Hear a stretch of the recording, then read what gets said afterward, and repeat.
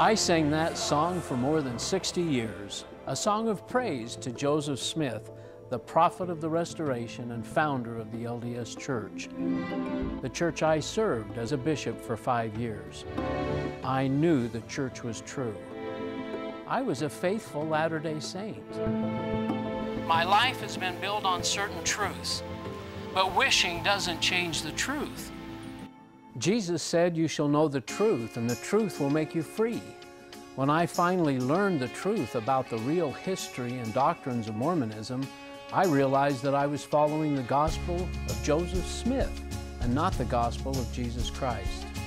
I have come to learn that many others have made a similar journey out of the bondage of religion and into an authentic relationship with Jesus. And that's what this show is all about.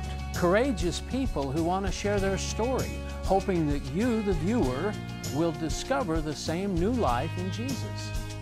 So if you're a Latter-day Saint who is struggling with questions or seeking a genuine encounter with the Savior, we invite you to join us tonight. We have a joyful message that we want to share with you.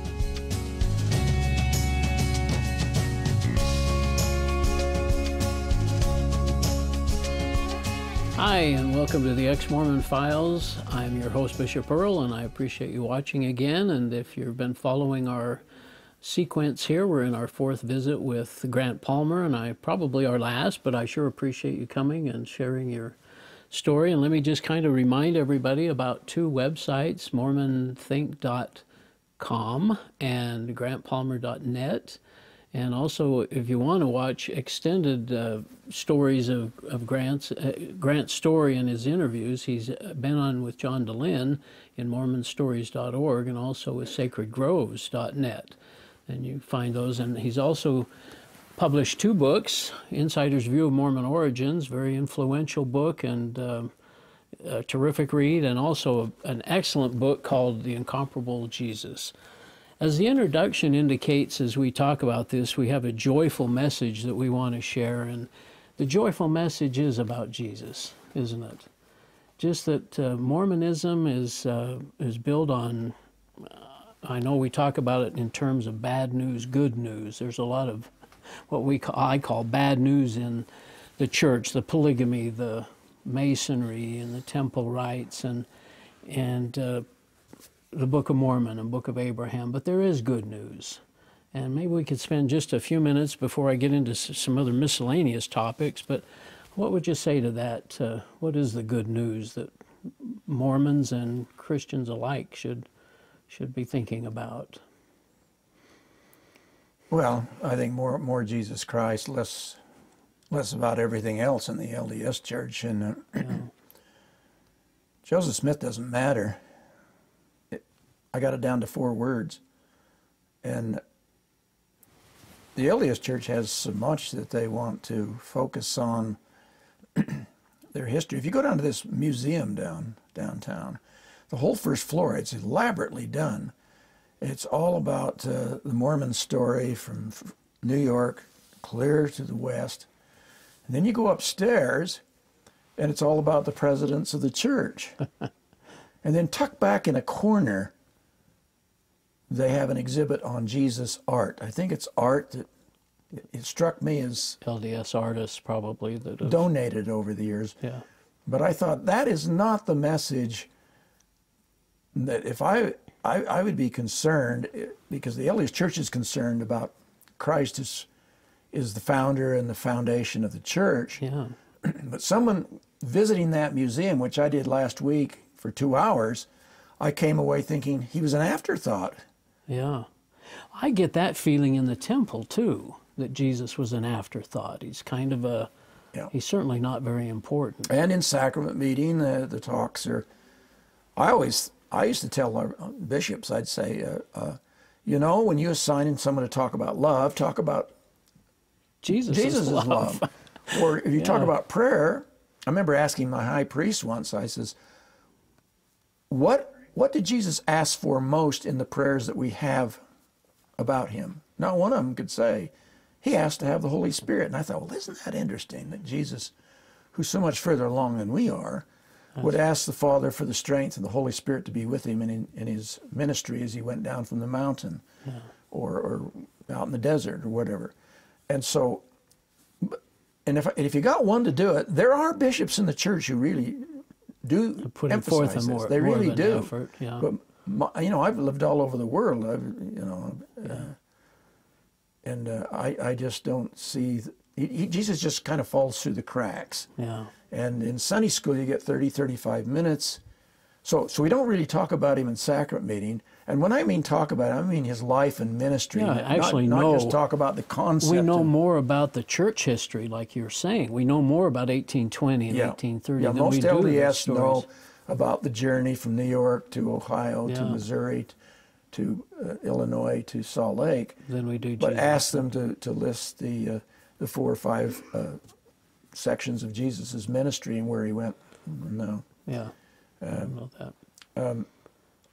So the sacrament meeting, uh, we hear talks about forgiveness and love and prayer and what have you. And home teaching and temple. a lot, a lot of the, tithing. the, the organizational needs of the church Yeah. is really focused, and the Yeah. beauty of the restoration. But Jesus Himself, and uh, this book on the incomparable Jesus, uh, I think He says forty times in the four Gospels, "Come unto me, listen to me, Yeah. do this, do that." Follow me. follow me yeah and, and he's really uh, he's really into that and i think we haven't taken him seriously enough so the sacrament meeting's kind of that way and then uh, sunday school you get 35 minutes and generally uh, if, if you're studying the new testament they'll quote a verse i witnessed this they'll, they'll quote uh, john 3 7 uh, you must be born again but they won't go on what it means to be born again as taught by John in First John Right. or Peter Yeah. in Second Peter or Jesus It's a in the standalone Sermon on the Mount. yeah. They'll go to quote Ab- Abinadi and uh, Amulek or Alma in the Book of Mormon. Yeah. And so, even though that's the, stu- the, the, the subject of study, they're soon into the Book of Mormon and then a couple of commentaries by LDS general authorities, and then there's no time, the 35 minutes. And then they go on to the next concept. Yeah. So there's not a, a lot of, of time for questions. I my wife came home and says that, that they had made a plea. The church says allow more time for questions because these people have been there 60 years. They pretty well know what's going to happen. yeah. It's not a, a scintillating learning experience, and uh, Repeat lessons. Uh, yeah, it's it's and so the Sunday school doesn't get much, and then the priesthood meeting is is about presidents of the on- church. Yeah, presidents. Yeah. I went through. Um, I went through in, in the incomparable Jesus. I did my own study of an eight-year period, Eight years. I remember you reading this. and it's something like 200 lessons, and I figure about uh, 10% are directly on Jesus. 20 of them. Yeah, most of them. They, they they use the same topics year in and year out. They just Yeah. different examples and different tithing's always in there, missionary works in there. Interesting. uh, that kind of thing. So you come away and you say, I'd like a, a, a more of a, a Jesus-centered experience, and, Yeah. and and then you get into holidays. They're not too hot on, not too big on Easter. They're not too big on. Uh, I think if a person starts noticing it, they will notice that uh, an LDS person, they'll notice that the topics are very not, not very Christ-centered. But a lot of people, they've only known the LDS Church, so they really don't know what they're missing. If That's they- true. If they go over Yeah. to a good Protestant church or a, minister who focuses on Jesus, then they'll see the difference. the praising and the teaching and so Yeah. on. Yeah, you know it's interesting. There are two things that I'd mention is um, the young children's choir at Christmas time Mm-hmm. was repeating Isaiah nine six, and they left out the words "everlasting Father." You know, for unto us a child is born, Really? unto us a son is given. And the mighty God, the everlasting Father, the Prince of Peace, and Elder theologically incorrect. yeah, and Elder LDS. Holland did the same thing in Really? General I Conference did not know that. in his last talk. Yeah. Another interesting thing, someone visited the uh, diorama or whatever you call that at the visitor center for the different places Jesus went to during his lifetime. It's kind of a panorama thing with lights and so on. They left out the cross. They go right from the cru- they go right from the Garden of Gethsemane to the empty tomb and they left the cross out. I just wondered what your position or if your thoughts were about now as a Christian about the cross and Gethsemane. Well, I, I don't. I've never been one to make too big a deal out of it. I know that a lot of evangelicals do. I, I just think it was definitely on his mind in Gethsemane, but it's the cross. This cross is is is the, is the major work, but it's certainly on his mind when Luke says he sweat as it were great great Drops drops, of of blood. blood. I mean, there's got to be a reason for Yeah. that. a lot of suffering. But he, he tells Peter, he says, "Don't you know that I do need to to drink the cup when he when he cuts off Yes. uh, Malchus's ear?" And so we know that the shed blood is really what the what the whole atonement or the whole crucifixion was about, uh, and it was what the animals had been doing, and or the people, the priests had been doing to the animals in the temples all those years. And I just wondered what your thoughts were on. Well, the atonement is a big subject. That's a big subject, And, isn't uh, it?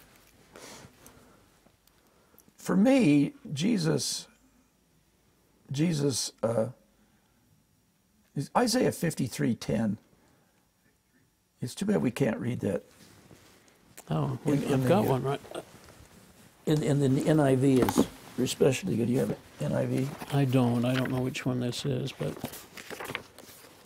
and if you want to know why he did what he did, Isaiah is very 5310. yeah. Yet it pleased the Lord to bruise him. He has put him to grief. When you make his soul an offering for sin, he shall see his seed and he shall prolong his days. No, his that's days. fifty three ten. Yeah. It was the Lord's will to crush him and cause him to suffer. I thought, wow, 5310. you're getting to the heart of it. Oh, and here it said to bruise him. I guess it's a difference, but Yeah. this is the. Uh, And you remember when, when uh, Malchus's ear is, is cut off? yeah. Jesus says to Peter, he says, uh, "You don't understand. I this is the will of the Father Yeah. that I suffer and die." Yeah.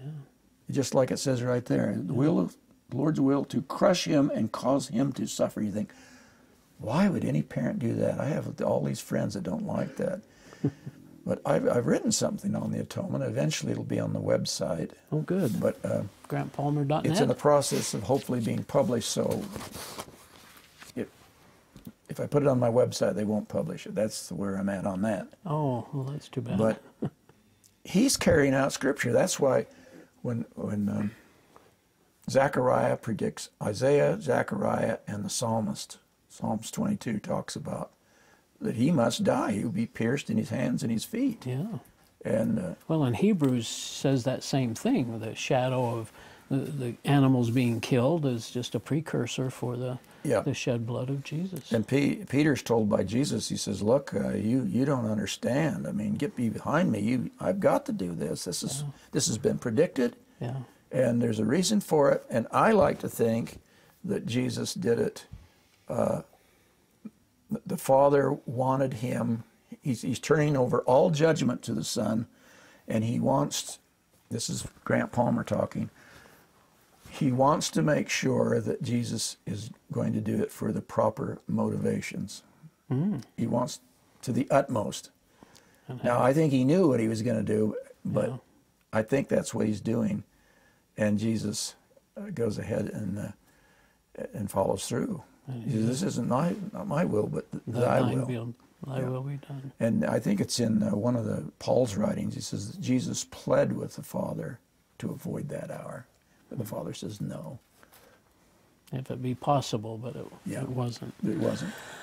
So the Father let him feel the full weight of the of, of humanity's sins and sorrows and troubles. Yeah. Why hast thou forsaken me? And I think the reason he did it is because he's turned all judgment over the Son and he wants him to feel the full weight of that responsibility. Wow. That's a good insight. Well, I hope it is. We'll see. Yeah. So you're going to I've have been that. trying to make more sense out of the atonement, and some of my friends uh, have strange. They don't think there's any need for an atonement. There's no such thing as sin, therefore you don't need a savior to save you from the sin. And a, and, and a glorious Father wouldn't require his Son to die. And I'm trying to answer those questions. do they even question Jesus as, as a Messiah or as a yes, Christ? all of yeah. the above. Yeah.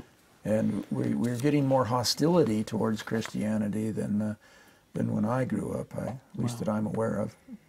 Hmm. Internet has, uh, has, has caused that. Yeah, you mentioned the internet, and let me cover just now a couple of miscellaneous things. You said that the Bible is to the Catholic Church as the internet is to the LDS Church. Yep. Everything that had been nailed down is coming up. Yeah. so here comes the English Bible, and people start reading uh, other than the Latin and realize that the Catholic Church is uh, different than, Yes. than the Bible. And Mormons today, ought the to, internet they need to get a modern Bible. Get the NIV or, or um, Revised Standard. Uh, well, we have learned something in the last 400 years, probably, right? absolutely, and I think that's important f- for, for better understanding. Anything you can get is a teaching tool, but I had a friend that, was not allowed to use the NIV in his Sunday school classes. Just King James, right? They like the King James, as you know. Well, and The that's King my James is- Bible too, but The King James is, is about 3% a year is, is being flaked off and people aren't using it. So the church, LDS Church uses the King James to, uh, uh, because their doctrine is, interpretations are, are more tied to that version. if you really use the Greek and the current, Yeah. then Then it doesn't. so much. Yeah. Well, here, the one I read said bruised, and you said crushed. I mean, there's a little difference there. Yeah. Yeah. Okay. Um, you had a debate with Walter Martin. Oh my goodness. That was a long time ago. And were you on the other side of the? Were you defending the church at that point? Absolutely. Sure. Uh, what year was that? Do you remember at all? This would have been while I was in Whittier, California.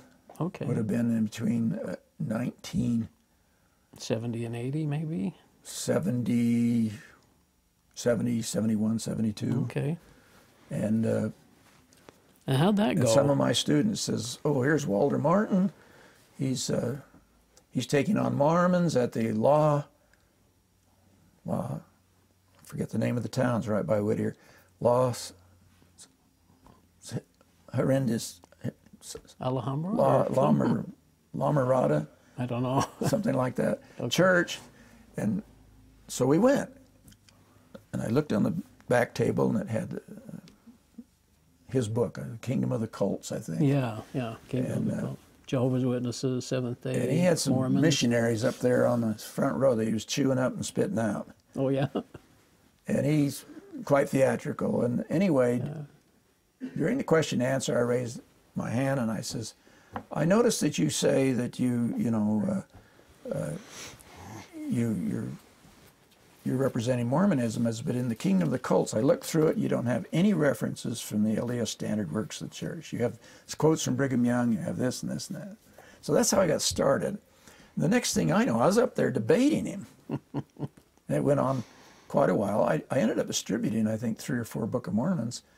And uh, Felt pretty good about yourself there. felt yeah, I felt pretty good about it. And I even invited him. This is a real no-no Yeah. for an institute director to invite him to, to your to speak At at, the Friday Forum noon forum. kind of open forum thing, or And yeah, of course, I was very confident that we could handle anything he could. yeah. Did throw he, at us. Did he do it?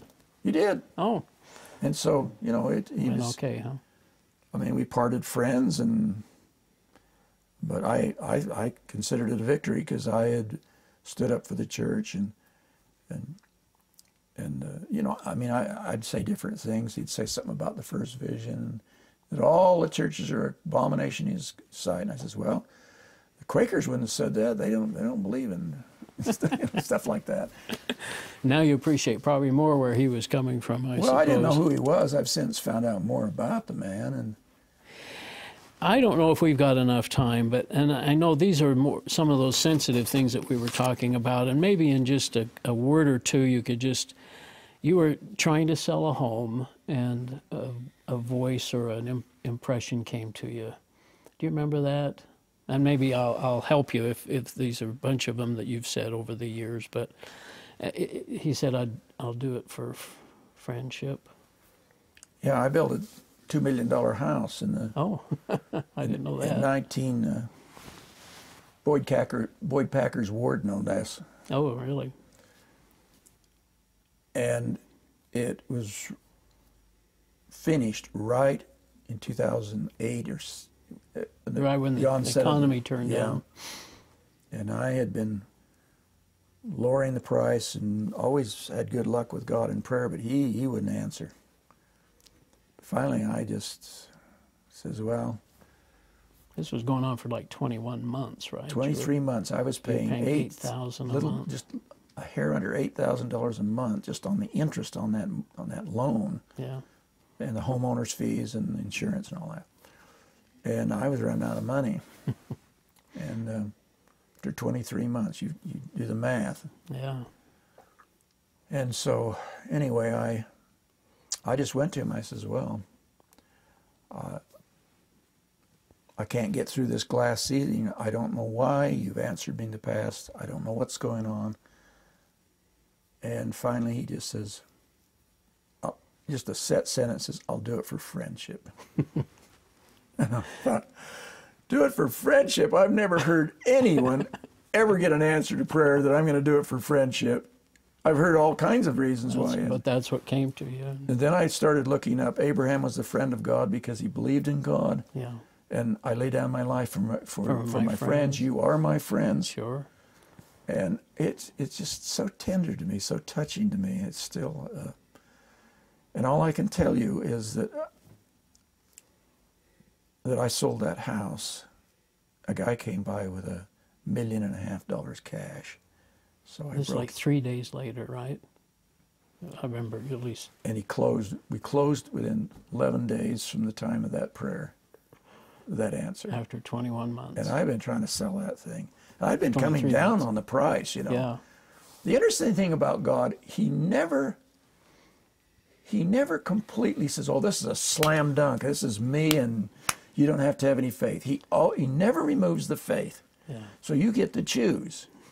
Did I sell this because of him, which I choose to believe, Sure. but you can always say, Well, it just would have. yeah. Would have. He, he always leaves it that way. It's never a slam dunk. Yeah. But for me, it was huge.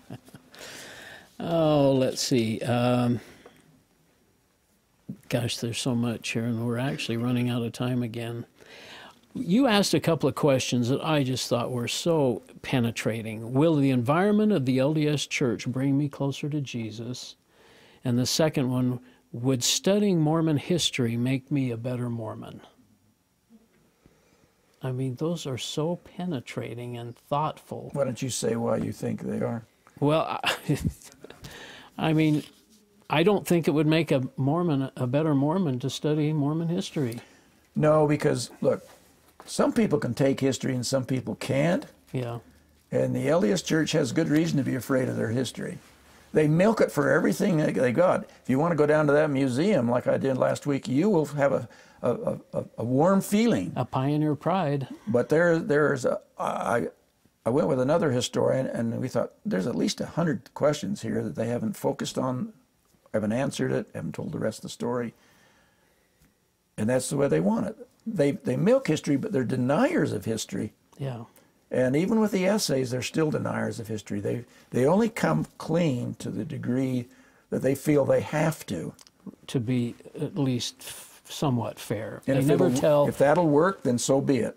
I guess one thing that probably a lot of people would like to know: Are you still meeting with that general authority and the mission president? I president? haven't talked with him for a, a, a year and a half. Was it uh, going anywhere? No? I, I met with him eight or nine times. It's uh, it was a mutual benefit. He wanted to learn Yeah. from me, and I Learn he has insight into the hierarchy that I didn't have. So it worked out pretty well. Okay, another question. How much do the general authorities know? I always get that question. What do you think they really know? They know about B.H. Roberts and his presentation, do they? They know about the seer stone and polyandry. Well, the very fact they don't want to talk about the foundational claims is what bothered my gen- general authority, my 70. yeah. They don't want to talk about it. Well, isn't it interesting that the general conference we just had, and I have to admit I didn't hear every word, but I didn't ever get the sense that anybody mentioned the essays. And they've come No. out with 13 essays over the last Well, couple of years, according to John Dehlin, uh, and pe- nobody talks about them. people reading the essays uh, th- that are our age, they, they they're wondering if the church is true because they said that's not what we were taught. Yeah, and not even being discussed though at general conference. I mean, they don't No, want them. They don't want They don't them want read. them What they're doing is feeding them into the seminary and institute. just for the youth more. Yeah, I mean, this this last talk by uh, Russell Ballard uh, to all CES people, complete change of course. Now he's telling the teachers Just to study and be aware. to know those essays like the back of your hand and answer the questions. Yeah. Why are they doing that? I don't know, but I would guess it's because about 50% of returned missionaries are leaving the church within five years. And that comes from them, not, not some outside source. Yeah. 45 cents percent. Forty-five. They don't have a temple recommend after five years. And they get their recommend when they leave the mission field. Yeah. So that's what's going on there. And so they've, they've thought, well, we're sending them out like lambs to the slaughter. They don't know anything. They get hit 10, 15, 20 times, especially in English speaking um, countries and especially in the Western states Yeah. by people like you and like me. And, and then they go home and think, gee, a lot of people told me that this church is, that I'm peddling isn't what it claims to be. I'm going to take a look. A little shocking. Yeah. Yeah. So that's what's going on. So the change of policy, we'll see if it works. Another thing, the Book of Abraham is now being considered an inspired translation rather than an actual translation. Do you Mm-hmm. ever see a possibility that the Book of Mormon could move that way? Would that be shocking? and Of course, devastating to a lot of people, but I don't know that the don't know. church is worried about us older people. Do you think No, so? They're no, not you're right. They want to they- give this information to the young who don't know any better. Yeah, and to at least prepare them so they can say, well, we've always talked about this. Well, this has always been out there. I think they used Ballard used the word inoculate three times in that CES talk. We want to inoculate you so that you won't be blown away when you hear about all this, uh, the, these problems from from criticisms. Well, Grant, believe it or not, our time's gone. One thing, I, I one comment you did make that I we won't talk about, but you said that I love the church too much, and I know that I love the church. It was my music, it was my life, it was everything. But I I know now that I know a Jesus completely differently than I did before. I'm a new creature in Him. You feel the same way? Absolutely, yes. Yeah. Yep. And it, it's such a And he hasn't feeling. disappointed me. No. I could. I've had experiences where he's shown his support. I, I don't know what to say. I mean, Yeah. Uh, well, I appreciate you so much uh, sharing your story, and uh, I, I know we've only scratched the surface, but I appreciate it. yeah. And uh, thanks so much for being a good friend. Thank you, Earl. And we'll see you another time on the Ex Mormon Files.